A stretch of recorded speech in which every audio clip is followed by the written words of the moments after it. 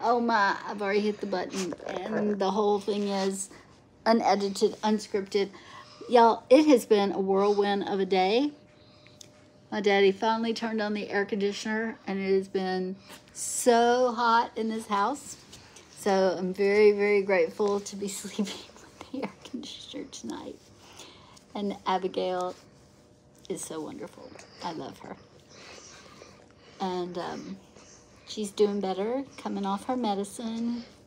She's still having to take some, but she is doing better. And then she starts licking and scratching. And anyway, um, gonna have appointment about her next week. And I hope you have had a wonderful day. And if you haven't, I hope that you will find this short and you can hear me tell you that you matter and you're important. And we will see you back here tomorrow. I gotta hit the button.